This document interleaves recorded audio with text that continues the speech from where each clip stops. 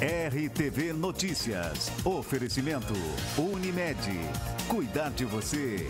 Esse é o plano. E Une a Selvi. Meio-dia, três minutos. Boa tarde. Hoje é quarta-feira, dia 21 de agosto de 2019. Nós estamos entrando no ar ao vivo para mais uma edição do seu RTV Notícias. Quarta-feira de tempo bom, temperaturas amenas, temperaturas de inverno, 14 graus a temperatura em Criciúma agora. Vamos abrindo o programa de hoje, conferindo alguns dos principais destaques desta quarta-feira. ANREC discute a permanência da sede da SIDASC em Criciúma.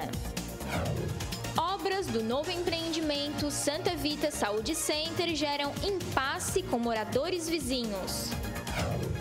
No Tigre, salário em dia e vilsão mantido. Grupo volta a trabalhar hoje à tarde. Assembleia Legislativa aprova inclusão de novo exame na rede pública de saúde. E ainda a participação de Ney Lopes circulando por aí. Vamos falar da Doce Sara, que agora é colmeia do varejo. Esses e outros destaques estão na edição de hoje do RTV Notícias, que está no ar.